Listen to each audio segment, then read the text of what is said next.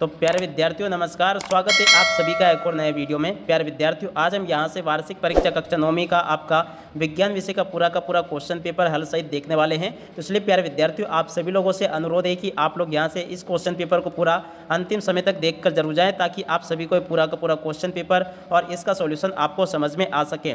यहाँ से आप लोग देख सकते हो, कक्षा नौवीं वार्षिक परीक्षा दो हज़ार तेईस का ये विज्ञान विषय का क्वेश्चन पेपर है, जैसे कि आज हम पूरा सोल्यूशन के साथ में देखने वाले हैं। तो चलिएगा आगे बढ़ते समझते हैं कि कक्षा नौवीं का आपका वार्षिक परीक्षा का विज्ञान विषय का क्वेश्चन पेपर किस प्रकार का आपसे पूछा जाएगा और इसका सॉल्यूशन आपको कैसे पूरा कंप्लीट कर लेना चाहिए। देख सकते हो, प्यारे विद्यार्थी टोटली आपका क्वेश्चन पेपर इसी प्रकार का आपको परीक्षाओं में देखने को मिलने वाला है, जैसा कि आज मैं यहाँ से आपको बता रहा हूँ। तो चलिए अब आगे बढ़ते हैं। समझते हैं कि आपका पूरा क्वेश्चन पेपर किस प्रकार का होगा और इसका सोल्यूशन आपको कैसे पूरा कंप्लीट कर लेना चाहिए। यहाँ से आप लोग देख लें टोटल नंबर ऑफ़ क्वेश्चन इसमें बाईस क्वेश्चन आपसे पूछे जाएँगे और टोटली आपका जो पेपर होगा, ये पिचहत्तर नंबर का होगा। तो चलिएगा, आप आगे बढ़ते हैं। समझते हैं कक्षा नौवीं के आपके विज्ञान विषय के पूरे क्वेश्चन पेपर को और इसके सॉल्यूशन को। तो देखिएगा, प्यारे विद्यार्थियों को, इस प्रकार का क्वेश्चन पेपर आपको परीक्षाओं में देखने को मिलने वाला है। आप सभी लोग यहाँ से इसको अच्छे से देख लें और समझ लें। पहला क्वेश्चन देखते हैं, बर्फ़ का गलनांक होता है। पहले नंबर का जो क्वेश्चन लिखा गया प्यारे विद्यार्थियों, इसका उत्तर आप लोग लिख लें। ये दो सौ तिहत्तर दशमलव सोलह के होता है। उसके बाद में शुष्क बर्फ़ क्या है? क्वेश्चन नंबर दूसरा। तो देखिएगा, प्यारे विद्यार्थियों, इसका उत्तर आप लोग लिख लें। टॉस कार्बन डाइऑक्साइड जो होती है, शुष्क बर्फ़ होती है। उसके बाद में डेटोल की बूंद को जल में मिलाने से कौन सी परिघटना अवघटित होगी? तो देखिएगा, प्यारे विद्यार्थियों क्वेश्चन नंबर तीन जो लिखा गया है, इसका उत्तर आप लोगों को लिख लेना है। इसका उत्तर आपका आ जाएगा विसरण। उसके बाद में आगे बढ़ते हैं। गर्मियों के दिनों में मटके में रखा जल ठंडा हो जाता है, इस परिघटना का कारण है। तो देखिएगा, प्यारे विद्यार्थी चौथे नंबर का जो क्वेश्चन दिया गया है, इसका उत्तर आप लोगों को लिख लेना है। डी नंबर का वाष्पीकरण।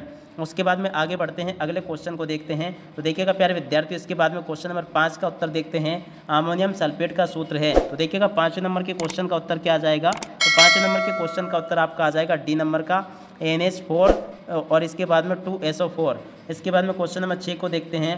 कार्बन का परमाणु द्रव्यमान होता है। तो देखिएगा, प्यारे विद्यार्थी छठे नंबर का जो क्वेश्चन लिखा गया है, इसका उत्तर आप लोग लिख लेंगे। इसका उत्तर आपका क्या आ जाएगा, प्यारे विद्यार्थी इसका उत्तर आपका आ जाएगा बारह। इसके बाद में आगे बढ़ते हैं। निम्न में से किसकी परमाणु संख्या अधिकतम है? सातवें नंबर का क्वेश्चन तो देखिएगा, इसका उत्तर आप लोगों को लिख लेना है अठारह। उसके बाद में आगे बढ़ते हैं, क्वेश्चन नंबर आठ को देखते हैं। इसका उत्तर क्या होगा? एसआई पद्धति में भार का मात्रक होता है। तो देखिएगा, आठवें नंबर के क्वेश्चन का उत्तर आप लोगों को लिख लेना है न्यूटन।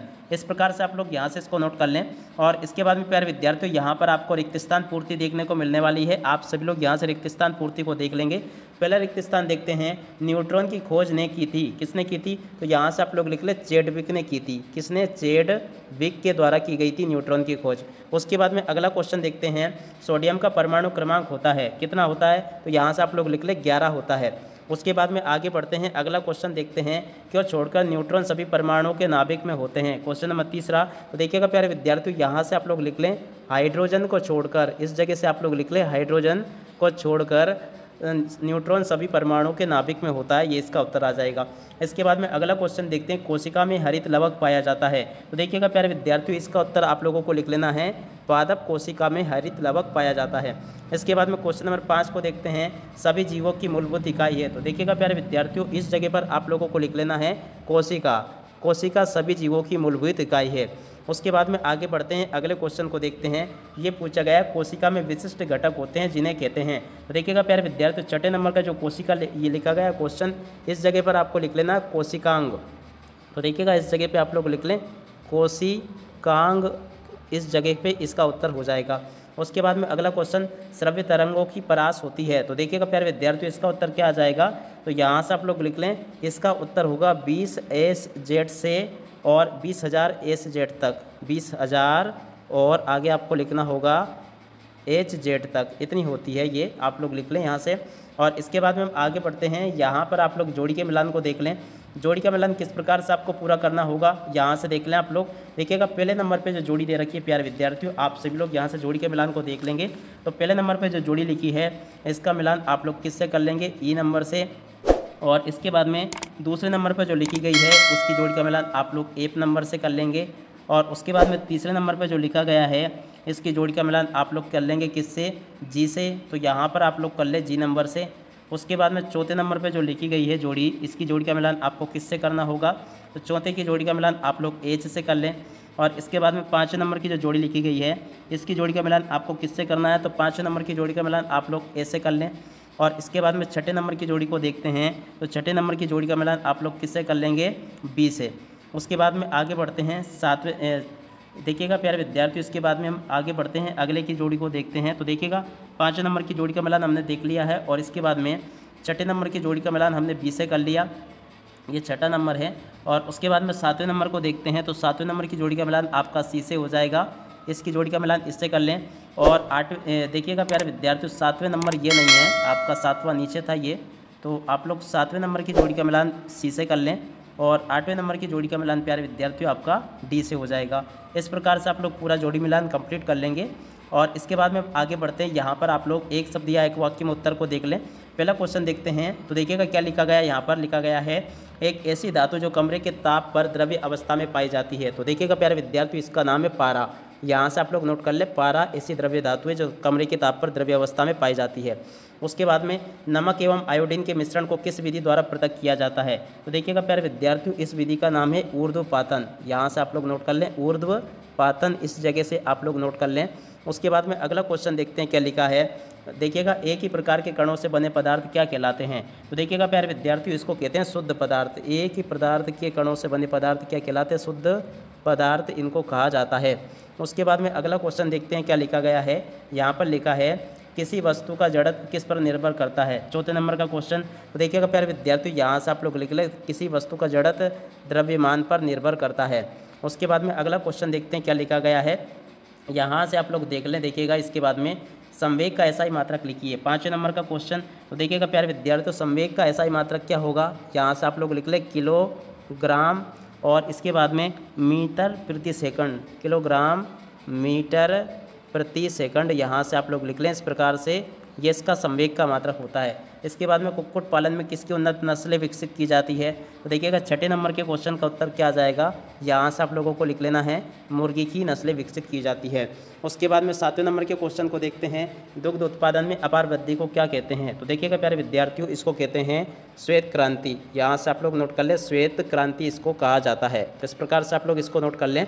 और इसके बाद में हम आगे बढ़ते हैं, आगे के प्रश्नों को देख लें।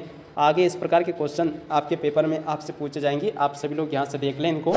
तो देखिएगा, इस प्रकार के सभी के सभी क्वेश्चन आप सबको अच्छे से याद कर लेना चाहिए। प्रश्न नंबर सात को देख लें, आठ को देख लें, नौ को देख लें और इसके बाद में दस को देख लें। सभी के सभी प्रश्न आपके पेपर में इसी प्रकार के आपको देखने को मिलने वाले हैं। प्रश्न नंबर बारह को भी देख लें, तेरह को देख लें, चौदह को देख लें और इसके बाद में प्यारे विद्यार्थी देखिएगा, आप पहले पेपर को देख लें पूरा। इसके बाद में फिर हम इसके उत्तरों को बताने वाले हैं। तो इस प्रकार के सभी के सभी क्वेश्चन अब प्यारे विद्यार्थियों, आगे हम यहाँ से सेट बी का पूरा सॉल्यूशन देख लेते हैं। तो देखिएगा प्यारे विद्यार्थियों, आपके ऑब्जेक्टिव प्रश्नों का सॉल्यूशन तो वैसे मैंने आपको पेपर पर ही हल करवा दिया था, मगर फिर भी एक बार आप लोग यहाँ से देख लें। ये प्रश्न नंबर दो के सभी उत्तर हैं, जिसमें कि आपसे रिक्त स्थान पूछे गए हैं, और यहाँ पर आपको जोड़ी का मिलान दिया गया है, और इसके बाद में यहाँ पर आपको एक वाक्य, एक शब्द में उत्तर वाले क्वेश्चन दिए गए हैं। आप सभी लोग यहाँ से इनको नोट कर लें इस प्रकार से।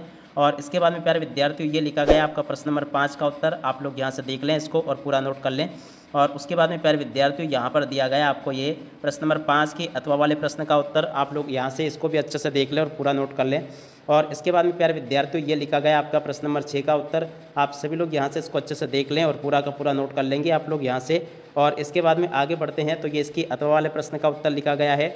यहाँ से आप लोग इसको भी देख लेंगे और पूरा नोट कर लें। और इसके बाद में आगे बढ़ते हैं तो ये आपका प्यारे विद्यार्थियों, क्वेश्चन नंबर सात का उत्तर लिखा गया है, इसको आप लोग नोट कर लेंगे। और इसके बाद में आगे बढ़ते हैं तो सात के बाद में ये आपका अगले क्वेश्चन का उत्तर लिखा गया है, आप लोग देख लें यहाँ से और इसको नोट कर लें।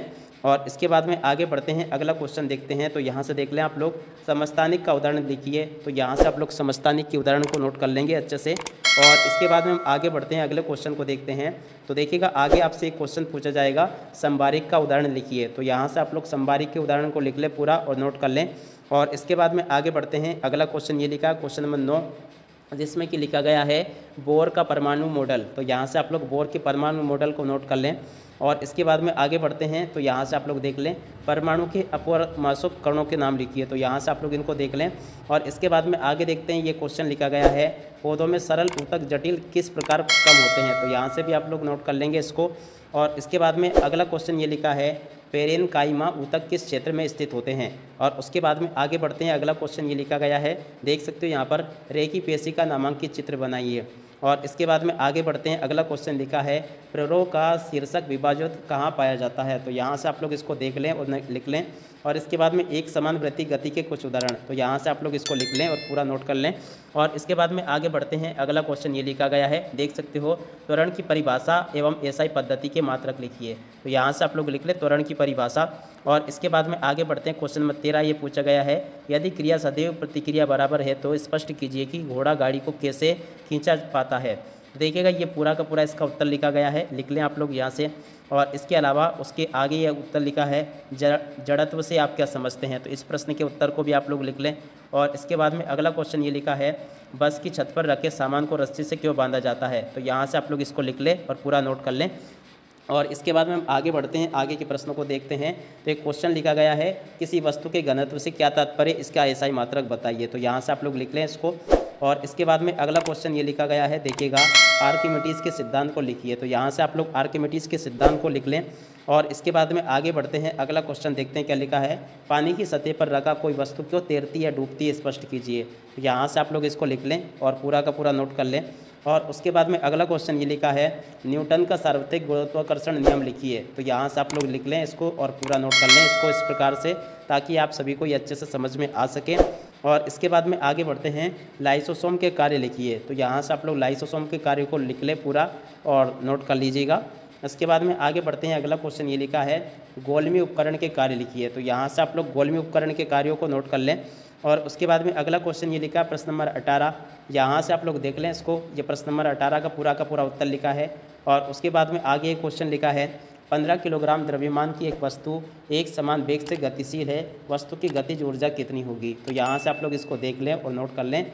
और इसके बाद में प्यार विद्यार्थियों, आगे बढ़ते हैं, अगला क्वेश्चन देखते हैं। तो यहाँ से आप लोग इसको देख लें, क्या लिखा है? मत्स्य संवर्धन के दो गुण तथा दो दोष लिखिए। तो यहाँ से आप लोग लिख लें इसको पूरा। और इसके बाद में आगे बढ़ते हैं, ये क्वेश्चन दिया गया है मधु उत्पादन के लिए प्रयुक्त मधुमक्खियों में कौन सी एक गुण होने चाहिए? तो यहाँ से आप लोग इसको भी लिख लें और पूरा का पूरा नोट कर लें आप लोग। और उसके बाद में प्रश्न नंबर 20 का उत्तर ये दिया गया है। आप लोग यहाँ से नोट कर लें। ये प्रश्न नंबर 20 का पूरा का पूरा उत्तर लिखा गया है। उसके बाद में आगे बढ़ते हैं। तो देखिएगा, प्यारे विद्यार्थियों, आगे इस प्रकार से आप सभी को इसके उत्तर देखने को मिल जाएँगे। और अगला क्वेश्चन ये लिखा है, मोल में परिवर्तन कीजिए। तो यहाँ से आप लोग मोल में परिवर्तन करके देख लें, पूरा का पूरा नोट कर लें आप लोग इसको। और इसके बाद में प्रश्न नंबर 21 का उत्तर ये लिखा है। यहाँ से आप लोग पूरा देख लें इसको और इस प्रकार से नोट कर लें आप सभी लोग इसको। और इसके बाद में आगे क्वेश्चन दिया गया है, इसको भी आप लोग देख लेंगे पूरा और नोट कर लें। यहाँ तक का। तो देखिएगा, प्यारे विद्यार्थियों, अभी तक मैंने आप सभी को पूरा का पूरा क्वेश्चन पेपर उसके हल सहित बता दिया है तो आप सभी लोग इसको नोट कर लें। और इसी के साथ में, प्यारे विद्यार्थियों, इस वीडियो को अब यहीं पर समाप्त करते हैं। नमस्कार, जय हिंद, जय भारत।